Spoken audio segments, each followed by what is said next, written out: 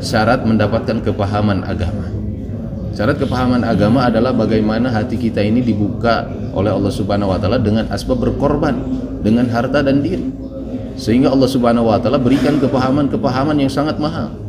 Dan kepahaman agama ini hanyalah milik Allah Subhanahu wa taala diberikan terhadap siapa pun yang Allah Subhanahu wa taala kehendaki. Man yuridillahu bihi khairan yufaqihu. Jika Allah menghendaki kebaikan terhadap seorang hamba, maka dipahamkan kepada agama. Masya Allah, tidak tinggal sholat lima waktu Om Bento. Ini paham, ini mahal. Bahkan waktunya pas, tepat waktu, Masya Allah. Anja Channel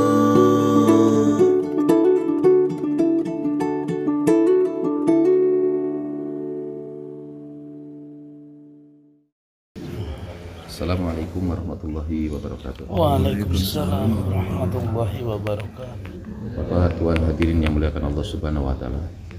Puji dan syukur hanyalah milik Allah Subhanahu wa taala yang begitu cintanya terhadap diri kita. Yang Masya Allah, padahal kita ini tidak pantas dipilih menjadi dai-dainya Allah. Bahkan ada seorang maulana dari Pakistan beliau menyampaikan saking tidak pantasnya, Masya Allah. Wah, berat saya menyampaikan itu. Tapi alhamdulillah syukur kita. Maulana Sa'ad Damat Barakatuh menyampaikan ini adalah kesempatan. Ini adalah kesempatan, bukan pilihan, tapi kesempatan. Barang siapa yang memanfaatkan kesempatan maka akan dipilih. Jadi kesempatan ini ujungnya sampai maut datang. Berusaha memanfaatkan kesempatan ini sampai sekaratul maut dan dia sukses diwafatkan dalam mengucapkan la ilaha illallah maka dia telah dipilih menjadi dai Allah Subhanahu wa taala. Hadirin yang muliakan Allah Subhanahu wa taala, keyakinan orang yang beriman terhadap satu amal adalah bagaimana dia melihat amal soleh itu adalah sarana untuk memperbaiki hubungan dirinya dengan Allah Subhanahu wa taala. Keyakinan orang yang beriman terhadap satu amal, maka dia yakin dengan asbab wasilah amal soleh yang dia buat, maka Allah Subhanahu wa taala akan berikan pertolongan terhadap dirinya. Inilah yang menjadi keyakinan daripada 124 ribu nabi, 313 rasul. Mereka berkeyakinan dengan amal yang mereka buat, mereka akan ditolong dengan Allah Subhanahu wa taala. Apalagi kita hari ini, ha? yang kita buat adalah ibu daripada amal yaitu dakwah. Mustahil ibadah muamalah muasyarah dan akhlak ada tanpa adanya dakwah. Sehingga dikatakan oleh para orang tua kita ini bagaimana kita ini bukan mencetak iman tapi membuat pabrik-pabrik iman. Oh. Ini hadirin yang muliakan Allah Subhanahu wa taala yang harus kita syukuri. Bagaimana perjuangan para nabi, para sahabat radhiyallahu anhum menegakkan agamanya Allah Subhanahu wa taala dengan banyak mengorbankan harta, diri dan waktu mereka.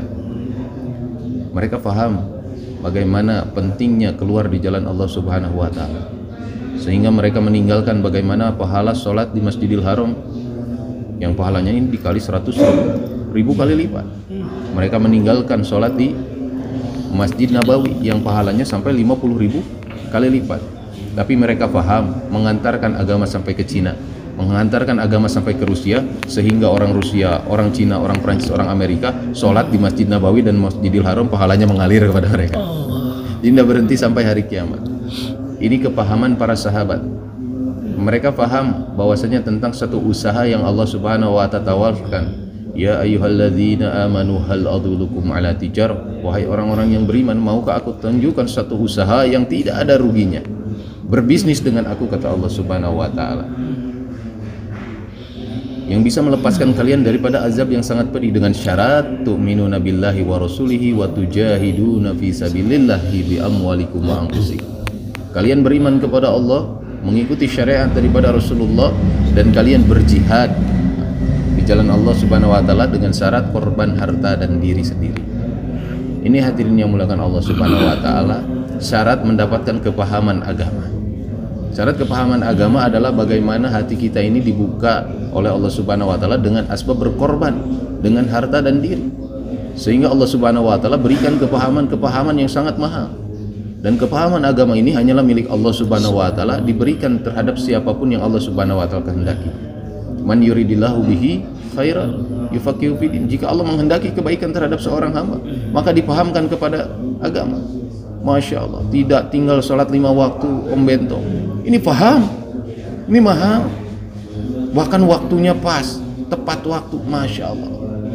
Mohon maaf orang mondok tahun-tahun pun untuk perkara tepat waktu sulit saking tidak dipahamkan dengan agama yang hari-hari dikaji coba. Tapi korban harta diri dan waktu meluangkan waktu Masya Allah. Korban bapak-bapak ini bukan kecil Masya Allah. Meninggalkan anak dan istri sementara ini bukan kecil. Satu hari dunia ukurannya seribu tahun. Akhirat. akhirat. Tiga ribu tahun kita berkorban untuk agamanya Allah subhanahu wa ta'ala. Anak dan istri kita mungkin yang kita tinggalkan sedang sakit mungkin anak dan istri kita dalam keadaan susah tapi kita lebih memilih memperjuangkan agamanya Allah subhanahu wa ta'ala maka insya Allah Allah ridho atas pengorbanan anak dan istri kita. Masalah-masalah hadirin yang mulia adalah bentuk daripada tarbiyah. Tapi Allah subhanahu wa ta'ala berikan satu cara menyelesaikan daripada masalah ini adalah dengan cara dakwah. Orang-orang terdahulu mereka menyelesaikan masalahnya hanya dengan sepertiga ibadah mereka. Kita dengar bagaimana kisah orang yang melakukan satu safar ketika hujan mereka masuk ke dalam gua tiba-tiba batu besar menggeliling dan menutupi daripada mulut gua tersebut maka hadirin yang mulia satu orang berkata tidak akan ada yang bisa mengeluarkan kita kecuali kita berdoa kepada Allah Subhanahu wa taala. Ini keyakinan orang yang beriman. Memanfaatkan doa di kala kesulitan. Di kala kemudahan lebih mujahadah lagi. Berdoa ya sungguh-sungguh di kala nikmat, oh ini lebih mujahadah. Kalau di kesulitan pasti fitrahnya berdoa. Tetapi mereka berwasilah terhadap amal-amal yang mereka buat. Sehingga satu orang mengatakan, "Ya Allah, aku memiliki kedua orang tua yang haknya aku penuhi bahkan aku tinggalkan hak anak istriku sebelum orang tuaku terlebih dahulu aku memerah susu untuk mereka satu kali aku memiliki hajat sehingga ketika aku pulang mereka sudah dalam keadaan tertidur maka aku mulai memerah susu anak dan istriku merengek-rengek. Tapi aku ya Allah aku menahan diriku untuk berdiri di samping orang tuaku menunggu mereka bangun sampai mereka bangun dan aku memberikannya terlebih dahulu. Ini orang kata Mauna Sa'ad dia buat muamalah dan muasyarah yang baik serta akhlak yang baik terhadap orang tuanya. Sehingga dia berdoa ya Allah jika engkau ridho atas amal yang aku buat ini maka geserkanlah batu tersebut. Tidak perlu mesin berat tidak perlu alat canggih maka dengan kekuatan iman dan amal maka batu bergeser. Tapi masih tidak mengeluarkan mereka dari gua hadirin yang mulia. Tetapi jadi pelajaran terhadap orang yang kedua melihat suksesnya orang pertama berdoa. Maka dia angkat tangan yang sama ya Allah sesungguhnya aku memiliki sepupu yang sangat cantik dan hatiku ingin memilikinya. Manakala satu datang musim paceklik dia datang kepadaku dengan memerlukan sebuah hajat sehingga aku berikan dia uang 100 dinar dengan syarat dia menyerahkan tubuhnya terhadapku bahkan ketika aku menguasainya ya Allah maka dia mendorongku dengan mengatakan takutlah kepada Allah. Aku tidak ingin aku di eh, cincin keperawananku diambil tanpa haknya. Maka seketika aku takut kepadamu ya Rabb aku lepaskan dia dan aku berikan uang 100 dinar tersebut. Maulana Sa'ad Damat Barakatuh mengatakan itu adalah muamalah, muasyarah dan akhlak yang baik. Sehingga Allah ridho ya Allah geserkanlah batu tersebut batu bergeser. Orang ketiga yakinnya lebih kuat dong lihat yang pertama bergeser yang kedua bergeser semakin timbul. Nah ini kalau melihat orang-orang soleh itu seperti itu.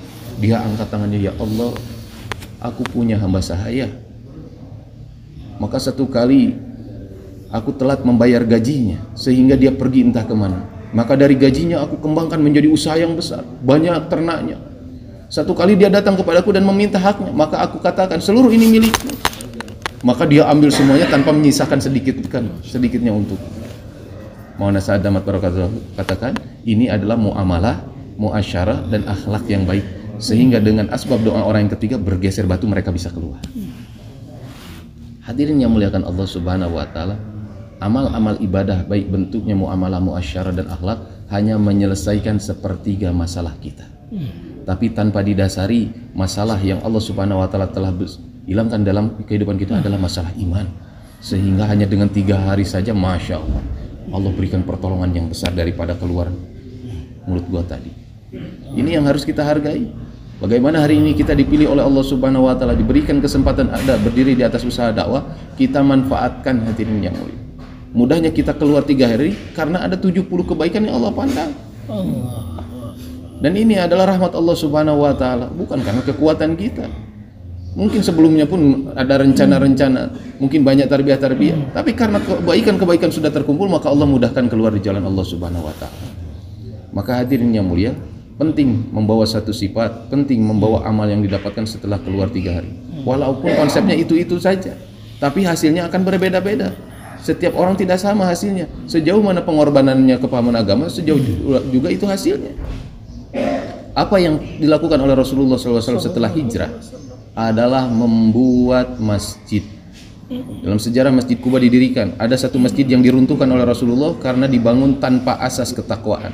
Maka setelah selesai, Nabi membangun Masjid Nabawi, dibangun dengan asas ketakwaan Nabi dan para sahabat radhiyallahu Kemudian setelah dibangun masjid, apa yang Rasulullah buat adalah meluangkan waktu untuk masjid. Masjid. Nah, meluangkan waktu untuk masjid untuk membuat apa? Amal-amal masjid.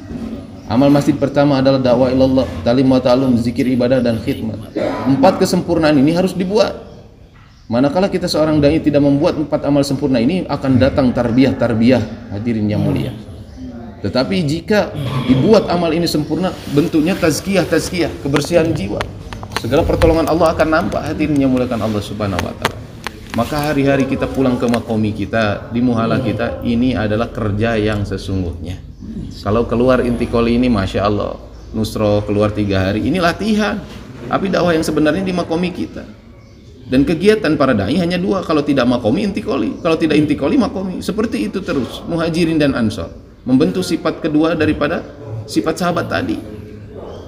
Maka setiap dai harus punya landasan dan landasan ini disebut dengan makomi, tempat muhalah kita.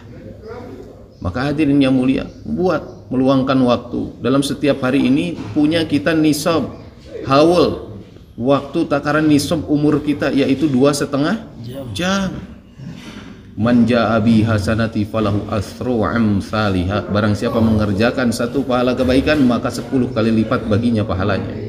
Maka sama dengan menginfakan harta dan diri waktu kita dalam satu hari dua setengah jam sama kita dengan mewakili satu hari umur kita untuk agamanya Allah subhanahu wa ta'ala dua setengah jam. Beres sholat subuh musyawarah. Bentuk daripada siapa yang nanti taklim asar petugasnya ini ini. Buat mujakarah selesai jikir pagi petang pulang beres isyrok sudah berapa lama itu di masjid? Nah ini hadirnya mulia yang harus dibuat para dai. Agar bagaimana keimanan kita terjaga. Inti koli adalah cara untuk memasukkan iman tapi cara menjaga iman adalah membuat makomi buat musyawarah buat taklim buat dua setengah jam kemudian tunaikan yang namanya jauhlah satu jauhlah dua Kenapa? Untuk menggugurkan ayat Allah Subhanahu wa taala, "Innama ya'muru masajidallah man amana billahi wal yaumil akhir" al-ayah. Memakmurkan masjid Allah.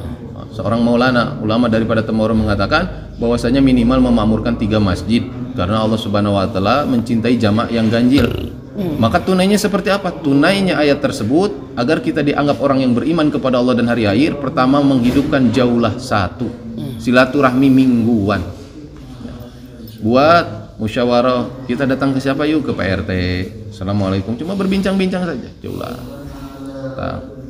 kabarkan bagaimana taklim kita sudah hidup bagaimana hasil taklim ada orang-orang sudah mulai duduk tali yeah. makmurnya masjid terlihat. Maka insya Allah nanti senang. Yang itu jauhlah satu kemudian buat jauhlah dua ke masjid terdekat nah, buat dalam satu minggu maupun ikut sholat berjamaah ataupun hmm. duduk dalam taklim-taklim mereka apalagi kajian-kajian masail boleh di masjid yang kita terdekat Nah, yang ketiga adalah bagaimana tertunainya tiga masjid ini. Yang ketiga adalah masjid tempat kita nih nisab, baik intikoli ataupun keluar tiga hari. Maka dengan tertunainya amalan tiga masjid ini, kita lepas daripada tuntutan bukan orang beriman. Nah, kita akan termasuk golongan orang beriman kepada hari akhir. Nah, ini hadirin yang mulia, buat amalan-amalan masjid, musyawarah dua setengah jam, talim jauhlah satu, jauhlah dua, sampai kita keluar nisab setiap bulan bersedia insya Allah insya Allah astagfirullahaladzim astagfirullahaladzim astagfirullahaladzim innallaha ghafurur rahim Alhamdulillah Rabbil Alamin. Hamdan yuafi ni'amahu wa yukafi mazidah Ya Rabbana lakal hamdu kama yanbaghi jalali wajhikal karimi wa azimi sultanik Allahumma salli ala Sayyidina Muhammadin wa ala alihi wa sahbihi ajma'in. Ya Arhamar Rahimin. Ya Arhamar Rahimin. Ya Arhamar Rahimin. Ya Dal Jalali wal Ikram. Ya Allah Ya Rahman Ya Rahim Engkau yang mengeluarkan kami tiga hari dan Engkau pula yang mengembalikan Ya Allah. Keluarnya kami tiga hari Ya Allah. Sesungguhnya perjalanan kami menuju akhiratmu Ya Allah. Keluarnya tiga hari kami Ya Allah Sesungguhnya untuk memudahkan pertanyaan di alam kubur Ya Allah Pertanyaan di sirat Pertanyaan di mizan Ya Allah Ya Rahman Ya Rahim Pandanglah pengorbanan kami tiga hari ini Ya Allah kami lakukan ya Allah semuanya karena semata-mata hanya untuk mengharapkan ridhomu ya Allah. Ya Allah mudahkan jamaah yang bergerak ya Allah. Terima korban kami ya Allah. Terima korban kami ya Allah. Islah diri kami ya Allah dengan usaha dakwah. Perbaiki iman kami, perbaiki ibadah kami, perbaiki muamalah muasyarah kami. Ya Allah Mudahkan kami masuk ke dalam surgamu bersama-sama ya Allah. Mudahkan kami untuk berjumpa dengan Rasulullah SAW. Mudahkan kami untuk berjumpa dengan para sahabat radhiyallahu Ya Allah ya Rahman ya Rahim. Terima korban kami ya Allah. Jadikan korban kami ini wasilah terbukanya masjid kami ya Allah Untuk jamaah ya Allah. Ya Allah keluarnya tiga hari terima ya Allah. Jadikan ini wasilah terbukanya masjid kami untuk jamaah ya Allah Mudahkan jamaah masuk masjid kami ya Allah. Muhala kami ya Allah. Ya Allah kami lihat bagaimana mereka memuliakan kami ya Allah. Maka beri kemudahan kami untuk memuliakan jamaah-jamaah yang bergerak ya Allah. Ya Allah ya Rahman ya Rahim. Lembutkan hati daripada pengurus-pengurus masjid kami ya Allah. Ya Allah terima korban kami ya Allah. Sehingga kami bisa mewujudkan amal agama sempurna di masjid kami ya Allah. Kami rindu kedatangan jamaah ya Allah Dulu kami sering meninggalkan kekajian nusroh jamaah ya Allah. Kami sering lalaikan jamaah-jamaah dunia ya Allah. Hari ini jamaah dunia sulit ya Allah. Kami meminta kembali jamaah-jamaah India Ustaz mengeladan untuk bergerak ya Allah. Ini salah kami ya Allah. Ketika mereka ada tak aja kami tinggalkan. Ketika mereka ada kami tidak pernah menemani mereka ya Allah. Ini azab dari engkau ya Allah. Sehingga seluruh dunia sulit ya Allah Ya Allah ya Rahman ya Rahim Mulai hari ini ya Allah Siapa pun yang datang ke muala kami Kami akan tunaikan daripada ansor kami ya Allah Kami akan muliakan daripada jamaah-jamaah yang datang ya Allah Ya Allah, Engkau telah beri kemudahan kami nikmat iman dalam usaha dakwah. Jangan kami singkirkan dalam usaha dakwah ya Allah. Jaga kami dalam usaha dakwah ya Allah. Istiqomah kami dalam usaha dakwah ya Allah. Bentuk istri-istri kami ya Allah dalam dakwah ya Allah. Izinkan istri kami dan kami masuk surga bersama-sama ya Allah. Ya Allah, hapus dosa-dosa jahiliyah kami ya Allah. Tutup keburukan-keburukan kami ya Allah. Tutup aib-aib kami ya Allah. Ya Allah ya Rahman ya Rahim Seandainya engkau tidak menutup aib kami Siapa kami ya Allah? Ya Allah ini semua karenamu ya Allah Engkau menutup aib-aib kami ya Allah. Maka ya Allah kami minta tutup aib-aib saudara muslim kami ya Allah Sebagaimana engkau menutup aib kami ya Allah. Ya Allah ya Rahman ya Rahim Berikan seluruh pahala kebaikan amal soleh untuk orang tua kami yang menolak dakwah ya Allah. Orang tua kami belum paham ya Allah. Kami hanya ingin membalas kebaikan mereka orang tua kami ya Allah maka kami itikadkan dan kami azamkan ya Allah. Kami ridho asal engkau ridho ya Allah. Kami berikan seluruh pahala untuk orang tua kami ya Allah. Asal jangan engkau sikap mereka ya Allah. Mereka belum paham ya Allah. Ya Allah ya Rahman ya Rahim. Istri yang kami tinggalkan ya Allah dalam keadaan kesulitan ya Allah. Ya Allah mudahkan istri dan ini kami ya Allah. Berikan rezeki yang sama terhadap rezeki yang kami berikan ya Allah. Jaga anak dan istri kami ya Allah Ya Allah jauhkan tarbiyah-tarbiyah yang menghanyutkan kami ya Allah Dekatkan kami kepada engkau ya Allah Ya Allah ya Rahman ya Rahim Istiqomahkan kami dalam dakwah Jaga kami dalam dakwah Ya Allah ya Rahman ya Rahim kami tidak akan pernah lurus jika tidak dekat dengan ulama ya Allah. Maka jaga ulama-ulama kami ya Allah. Maafkan ulama-ulama terhadap dakwah ya Allah. Jaga malam saat ya Allah. Jaga ya Allah. Satukan kami kembali dalam usaha dakwah ya Allah. Kami rindu majma besar di Cikampek ya Allah. Kami rindu majma besar di Nizamuddin ya Allah. Maka satukan kembali kami dalam usaha dakwah ya Allah. Sehingga Rasulullah ridho terhadap diri kami ya Allah. Ya Allah permintaan kami terakhir Umur kami kami tidak tahu ya Allah Namun jangan sampai kematian datang Kami tidak pernah bermimpi dengan Rasulullah SAW ya Allah Izinkan satu kali kami bermimpi dengan Rasulullah sebelum kami wafat ya Allah. Ya Allah jumpakan kami dengan kekasihmu di akhirat ya Allah. Berikan kami air langsung dari telaga Al-Kawthar melalui tangannya ya Allah. Ya Allah rindu kami terhadap Rasulullah Sehingga kami mau berkorban seperti ini ya Allah. Jangan sampai pengorbanan kami tertolak Bahkan kami tidak bisa berjumpa dengan Rasulullah. Ya Allah ya Rahman ya Rahim masukkan kami ke dalam jannah bersama-sama dan izinkan kami melihat wajahmu ya Allah. Amin ya Allah. ربنا ظلمنا انفسنا وان لم تغفر لنا وترحمنا لنكونن من الخاسرين Ya Allah, dosa kami banyak ya Allah. Dibandingkan butir pasir lebih banyak dosa kami ya Allah. Ampun ya Dosa kami banyak, dosa istri kami banyak ya Allah. Dibandingkan dengan bintang pun lebih banyak dosa kami ya Allah. Tapi kami belajar menjadi orang yang beriman ya Allah. Kami yakin bahwa ampunanmu jauh lebih besar ya Allah. Rabbana taqabbal minna innaka antas samiul alim wa tub alaina innaka antat tawwabur rahim. Rabbana atina fid dunya hasanah wa fil akhirati hasanah wa qina adzabannar. Wa sallallahu ala Muhammadin wa ala alihi wa sahbihi wa baraka wa. Subhana rabbika rabbil izzati amma yasifun wa salamun ala mursalin. Alhamdulillahi rabbil alamin. Anja Channel